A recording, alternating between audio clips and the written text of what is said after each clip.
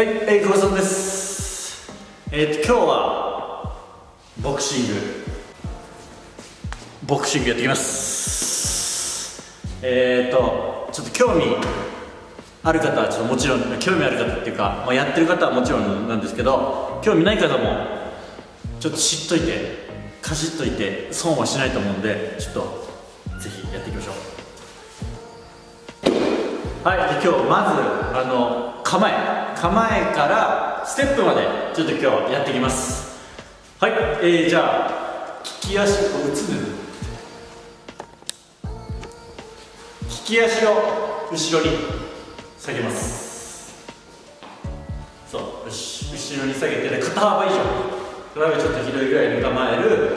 で拳は自分のこの顎の高さに構えますで、えー、と肩に今こうギュッて握らないようにして力入っちゃうとこう脇が開いてこう肩がこう盛り上がっちゃうんでこうじゃなくてどっちも手も肩も力を抜くと勝手にこう脇が締まるんでこのような構えです。で逆にこう無理にこう脇締めようとするとこれもこれでいろんなところに力入っちゃうんで完全にリラックス。握らないリラックス状態。これが基本の構えです。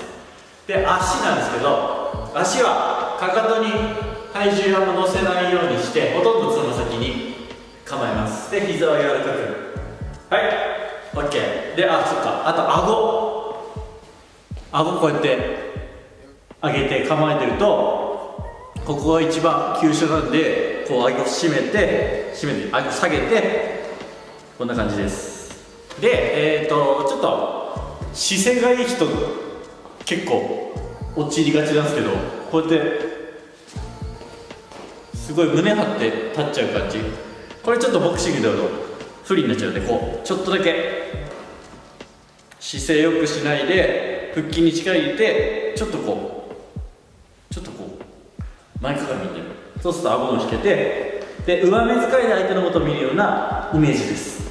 こんな感じでやっていきます。あの力こぶ育てる動画。あの時のアームカールやる時の姿勢がちょうどこのボクシングの構えになるのでああいう筋トレする時とかにあの意識してやってみてください。そうするとあの時も結構腹筋に力入ってるんで。よし。はいじゃあこれが基本構えでここまでできたら、えー、次はステップですね。ステップって言ってもこう前に飛んで後ろ前後ろじゃなくて重心をこう前後っていうか上上下っていう何のか。移動させる小刻みに感じです。だから別にこう飛ばなくてもこのままでもこんな感じですね。はい。まあこれはなんか例えばこう何もしない動いてないでこのままパンチを打つとこのパンチ打つ瞬間っていうか動く瞬間バレちゃうじゃないですか。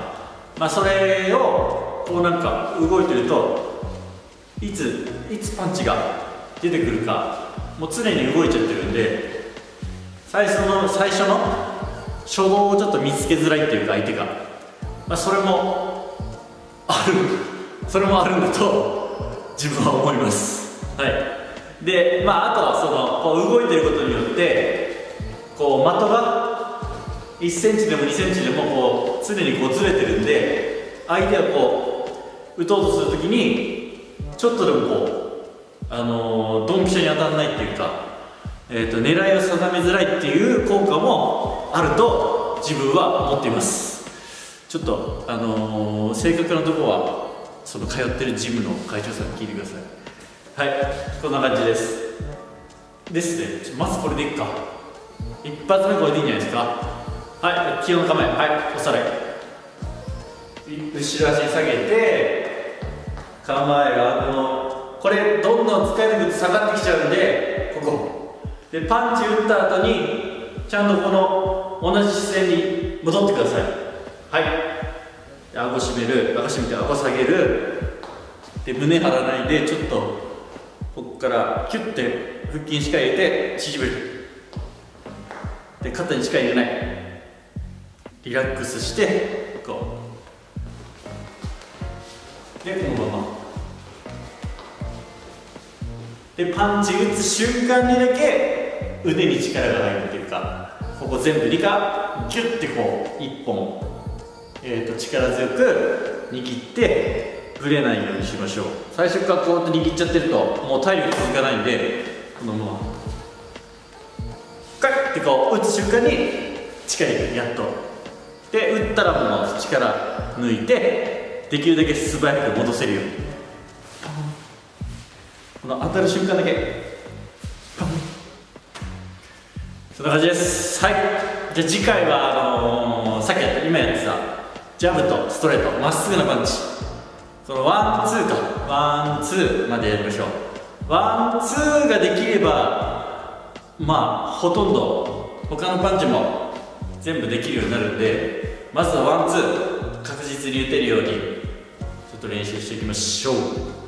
練習していきましょうつうかそう。ちょっとワンツーぐらい。ボクシング全然興味ない人でもこんなかっこよく打てるとあのー、いいんじゃないですかね。いざという時殴らなければいけない時あのー、ぜひ使ってください。ぜひ使ってくださいねまあそう。まあとりあえずあのー、見てください。見てやってください。鏡があれば確認できます。あジャブ。ジャブね。こっちジャブ。ジャブでそれでは右。ワンツー。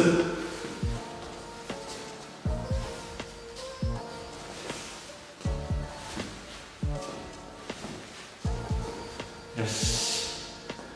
そんな感じです。あそう。ワンツーだったら例えばジャブだったらジャブ。この今構えてるとこにパッて戻す。ちゃんと。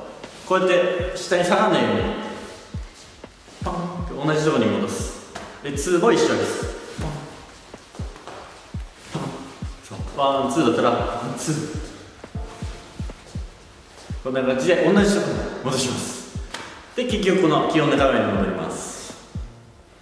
そう。これ一応基本の構えなんでなんかいろいろあるんですよ。その自分の得意な攻撃スタイルだったりパンチによってなんかいろいろこう左手下げてたりあとなんかもうこう前にこうどっちも構えてたりなんかいろいろあるんですけど、うん、まあ基本の構えが一番隙があまりなくていいと思うんで、えー、これでまずは行きましょう。そこからまたアレンジしていっていいと思います。じゃあ今回これで終わりですね。ごちそうでした。次はワンツー。興味あれば見てください。